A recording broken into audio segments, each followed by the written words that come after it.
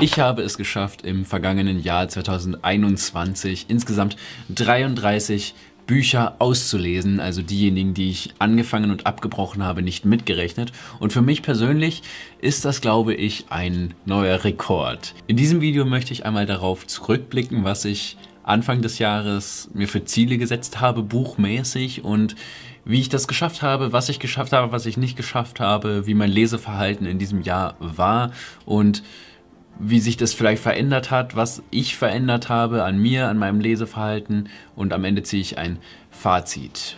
Viel Spaß!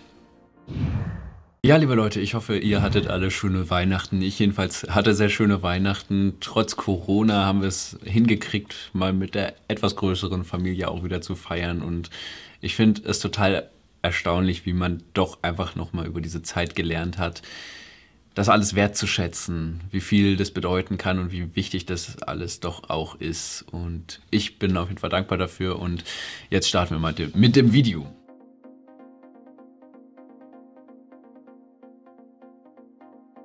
Ich habe mir nochmal das Video von Anfang des Jahres angeschaut, wo ich die Bücher vorgestellt habe, die gerade ganz konkret äh, akut auf meinem Lesestapel waren und die ich jetzt lesen möchte, wo ich gesagt habe, das sind meine Leseziele für 2021 und bin sie nochmal alle durchgegangen und habe geschaut, ob ich es geschafft habe, sie zu lesen und ob ich oder ob ich es nicht geschafft habe.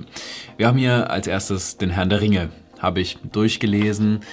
Am Ende war es allerdings eine sehr große Quälerei. Ich bin froh, dass ich es einfach mal habe, weil ich finde, es ist gut sagen zu können, ich kenne nicht nur die Filme, sondern ich habe auch die Bücher gelesen.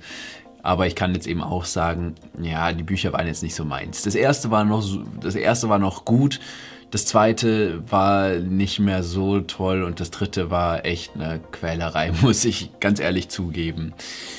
Dann habe ich die unendliche Geschichte gelesen eine wirklich unendlich schöne Geschichte. Wortspiel ist euch aufgefallen, oder? Ähm, bin ich sehr froh, dass ich es gelesen habe. Sakrileg habe ich tatsächlich nicht gelesen, aber auch nur, weil ich festgestellt habe, dass Sakrileg der zweite Teil der Reihe ist, von der Illuminati der erste ist. Und dann habe ich eben Illuminati gelesen, Sakrileg danach allerdings nicht. Illuminati fand ich großartig. Ich schau mal, ob ich es irgendwann noch schaffe, Sakrileg auch noch zu lesen. Dann Per Anhalter durch die Galaxis habe ich auch nicht gelesen. Man sollte meinen, ich hätte es vielleicht mal schaffen können, weil es ja so ein kurzes, dünnes Buch ist, aber ich habe es leider nicht geschafft. Es ist immer noch auf meinem Lesestapel, ich werde es definitiv noch lesen, früher oder später. Dann Schatten der Nacht und Nathaniel, beide von John Saul, habe ich gelesen. Ich bin die Nacht von Ethan Cross habe ich auch gelesen. Irrsinn von Dean Koons habe ich noch nicht gelesen. Steht da hinten allerdings noch.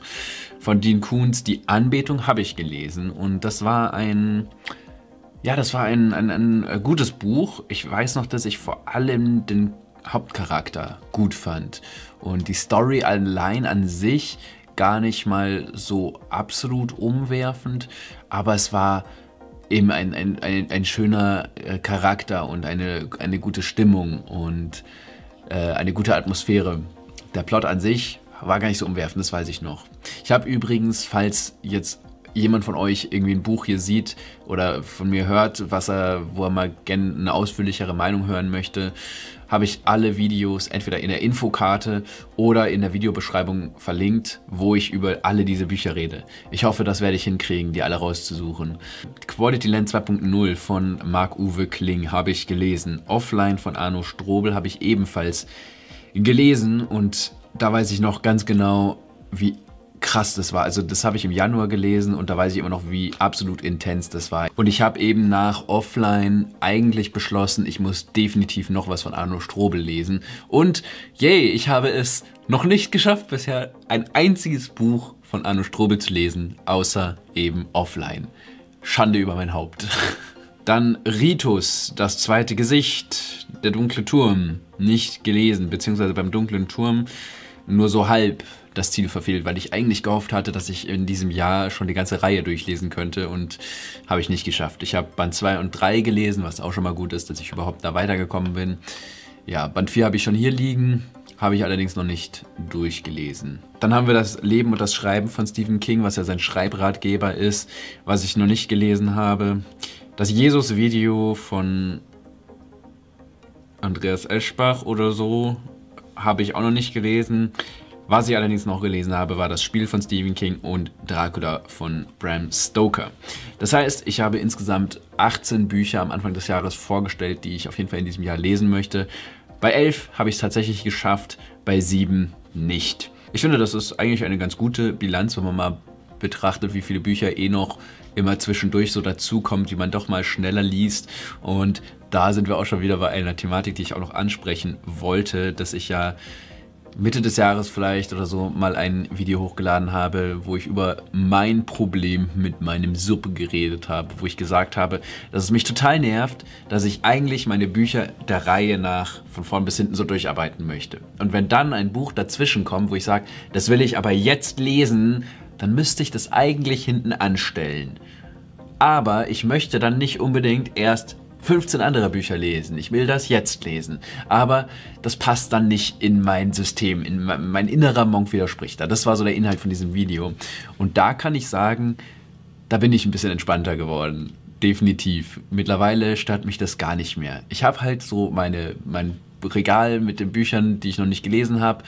Das sind nicht unglaublich viele. Es sind wahrscheinlich nie mehr als 15 oder 20 oder so, die da wirklich stehen. Und dann lese ich halt, worauf ich gerade Lust habe. Und ich mache mir da gar keinen Stress mehr, das in irgendeiner Reihenfolge zu lesen, weil das für mich ein Druck ist, der komplett unnötig ist. Wenn ich jetzt sage, ich habe vor, Buch Y als nächstes zu lesen und dann kommt aber noch ein Buch Z, was ich jetzt dringender lesen möchte, dann lese ich halt Buch Z und dann werde ich Buch Y halt wann anders lesen. Irgendwann wird es soweit sein und wenn nicht, dann ist es halt so. Das ist mittlerweile so ein bisschen meine Devise und da bin ich noch nicht ganz perfekt drin. Also manchmal äh, stört dann das immer noch ein bisschen und der innere Monk klingelt dann doch nochmal, aber grundsätzlich habe ich dieses Ding so ein bisschen in meinem Kopf befriedigt gekriegt. Wir kommen jetzt zur Kategorie das beste Buch des Jahres 2021 und wir reden dann natürlich absolut von meiner subjektiven Sicht, wie immer, weil ich natürlich nur die Bücher gelesen habe, die ich nun mal gelesen habe. Es geht hier absolut nicht um Neuerscheinungen oder whatever. Es geht um die Bücher, die ich gelesen habe. Welches der Bücher, die ich 2021 gelesen habe, war für mich das Beste. Und dafür müssen wir erstmal definieren, was macht denn überhaupt das Beste aus? Die Bücher sind ja so unterschiedlich. Es gibt ja so unterschiedlich unterschiedliche Bücher und da kann ich doch nicht aus denen allen ein bestes Buch ausmachen. Für mich ist das jetzt auch nichts weltbewegendes, das beste Buch, was ich dieses Jahr gelesen habe, aber ich habe so ein bisschen zurückgedacht und versuche mal zu überlegen, welches habe ich einfach in bester Erinnerung zu gehalten. Das ist natürlich auch wieder schwierig zu bewerten, weil manche sind halt einfach länger her und manche einfach noch gar nicht lange her. aber ich glaube, dass man da so ein bisschen so ein Gefühl hat, welches hat so eine ganz besondere Erinnerung, wenn man da jetzt dran zurückdenkt.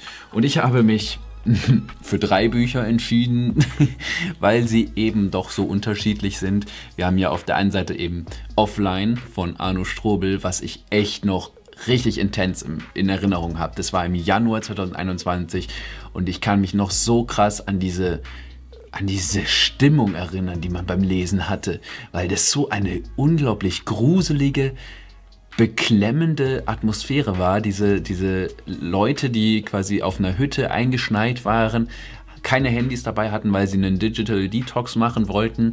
Und dann verschwinden plötzlich Leute und man denkt sich, fuck, einer von uns bringt hier gerade Leute um, verstümmelt diese Leute und vor allem, was diesen Leuten angetan wird. Ich habe das noch so krass im Kopf.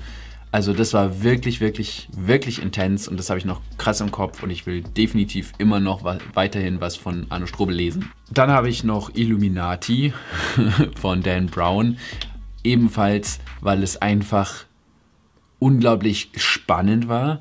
Also wirklich durch die Bank weg spannend, 700 Seiten lang und gleichzeitig hat es eine recht interessante Thematik behandelt. Also wir haben hier äh, eben diese Thematik Wissenschaft oder Religion oder generell Religion und so dieses alte, altertümliche, ganz viele Bräuche. Die Kirche spielt ja eine ganz große Rolle und das ist schon irgendwie faszinierend. Und dann haben wir noch den Astronauten von Andy Weir, was einfach bombastisch war. Also Fantasy, Science Fiction im wahrsten Sinne des Wortes Wir, wir haben diesen Astronauten, der da ganz allein im Weltall ist, eigentlich ja nur Wissenschaftler ist und feststellt, äh, für mich ist das jetzt eher weniger ein Spoiler, ähm, feststellt, dass er nicht mal unsere Sonne da sieht und weil es nicht unsere Sonne ist, heißt das, er ist sogar in einer anderen Galaxis und bombastische Stimmung. Mehr kann ich nicht sagen, weil es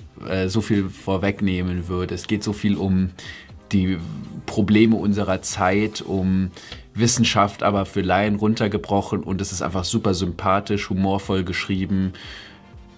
Richtig, richtig tolles Buch. So, abgesehen von den ganzen Büchern, die ich gelesen habe dieses Jahr, habe ich ja auch wieder Kurzgeschichten geschrieben und ich habe davon tatsächlich dieses Jahr drei geschrieben. Das finde ich eigentlich recht erstaunlich dafür, dass ich mich da einfach so, so komplett treiben lasse und teilweise dann auch mal zwei Monate innerhalb des Prozesses einer Geschichte gar nicht weiter schreibe und mir da auch absolut keine Deadlines setze, was ich ja auch, auch äh, gut finde und auch definitiv in der Zukunft nicht machen werde. Aber es sind drei Geschichten geworden. Das war im März, glaube ich, ungefähr so nachts um drei, was ich Dezember letzten Jahres angefangen hatte. Dann habe ich irgendwie, glaube ich, im Mai angefangen, mit Die Dinge im See, was dann im August erschien. Und ungefähr im November habe ich angefangen, die geheimnisvolle Tür zu schreiben. Da musste ich tatsächlich so ein bisschen Deadline einhalten, weil ich die natürlich nicht nach Weihnachten erst hochladen wollte, sondern halt vor Weihnachten.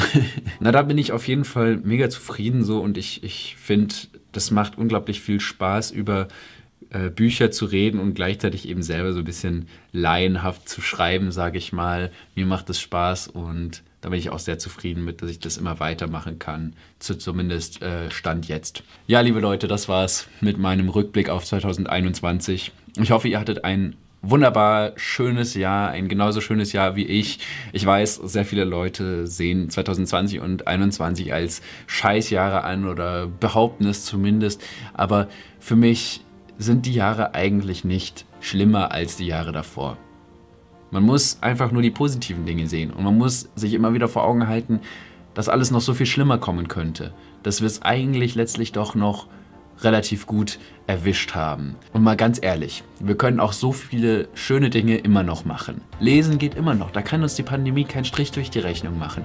Wir können auch noch so viel mit unseren Freunden und unserer Familie machen, dadurch, dass wir soziale Medien haben und gerade im Sommer dieses Jahr war es ja auch schon wieder besser und behaltet einfach die guten Dinge im Kopf, auch wenn die Pandemie dieses Jahr nicht vorbei war und sie vielleicht auch nächstes Jahr nicht vorbeigeht, wer weiß.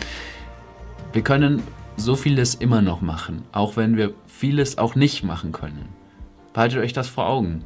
Es ist schwierig, aber versucht es.